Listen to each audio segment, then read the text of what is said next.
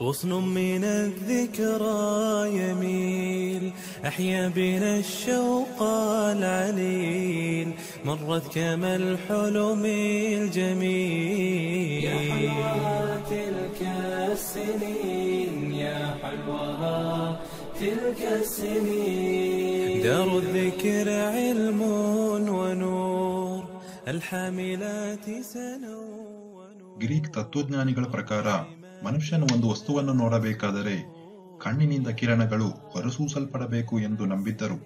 ಈ ಅವೈಜ್ಞಾನಿಕ ವಿಶ್ವಾಸವನ್ನು ತಳ್ಳಿ ಜನರಿಗೆ ದೃಷ್ಟಿಯ ನಿಜ ರೂಪವನ್ನು ಬಯಲಿಗೆ ತಂದದ್ದು ಹತ್ತನೇ ಶತಮಾನದಲ್ಲಿ ಜೀವಿಸಿದ್ದ ಒಬ್ಬ ಗಣಿತಶಾಸ್ತ್ರಜ್ಞ, ಖಗೋಳಶಾಸ್ತ್ರಜ್ಞ ಮತ್ತು ಭೌತಶಾಸ್ತ್ರಜ್ಞರೂ ಆಗಿದ್ದ ಅಲ್ ಹಸನ್ ಇಬನು ಹೈಸಮರವರಾಗಿದ್ದಾರೆ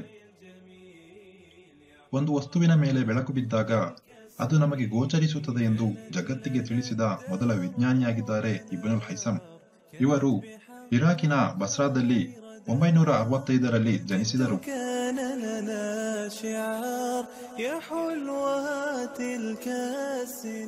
ಕ್ಯಾಮರಾ ಮತ್ತು ಫೋಟೋಗ್ರಾಫಿ ಇಲ್ಲದ ಲೋಕವನ್ನು ಊಹಿಸಿಕೊಳ್ಳಿ. ಆಪ್ಟಿಕ್ಸ್ನ ಪಿತಾಮಹರಾದ ಇಬ್ನುಲ್ ಹೈಸಮರವರಾಗಿದ್ದಾರೆ ನಮಗೆ ಪರಿಚಯಿಸಿದ್ದು. ಪಿನ್ಹೋಲ್ ಕ್ಯಾಮರಾದ ವಿದ್ಯಮಾನದ ಕುರಿತು ಮೊದಲು ಗವೇಷಣೆ ಮಾಡಿದ್ದು ಇಬನು ಹೈಸಮರವರಾಗಿದ್ದಾರೆ.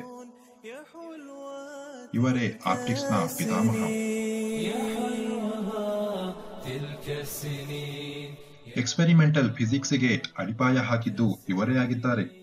ಬೆಳಕು ನೇರವಾಗಿ ಚಲಿಸುತ್ತದೆ ಎಂದು ಲೆನ್ಸ್, ಮಿರರ್ ರಿಫ್ಲೆಕ್ಷನ್ಗಳ ಕುರಿತು ಅವರು ತಮ್ಮ ಕಿತಾಬುಲ್ ಮನಾಜಿರ್ ಅಥವಾ ಬುಕ್ ಆಫ್ ಆಪ್ಟಿಕ್ಸ್ನಲ್ಲಿ ಪ್ರತಿಪಾದಿಸುತ್ತಾರೆ.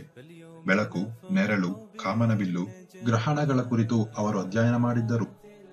ಅವರ ಕಿತಾಬುಲ್ ಮನಾಜಿರ್ ಅಥವಾ ಬುಕ್ ಆಫ್ ಆಪ್ಟಿಕ್ಸ್ ಅನ್ನು ಇತರ ಭಾಷೆಗಳಿಗೆ ಪರಿಭಾಷೆಗೊಳಿಸಿದಾಗ ಯುರೋಪಿನ ಅನೇಕ ವಿದ್ವಾಂಸರು ಇಬ್ನುಲ್ ಹೈಸಮ್ ರವರು ತಯಾರಿಸಿದ್ದ ಡಿವೈಸ್ ನಂತೆಯೇ ತಯಾರಿಸಿದ್ದರು.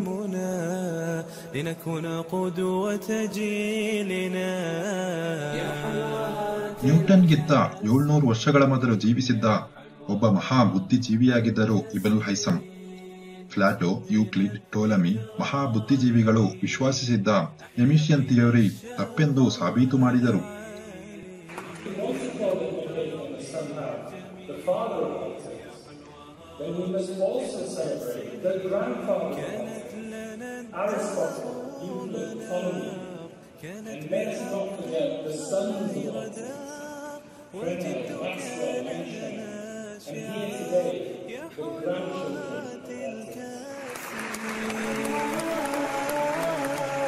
فيها المعلمة الحنون رمز اللطافة والسكون كانت إدارتنا تصون.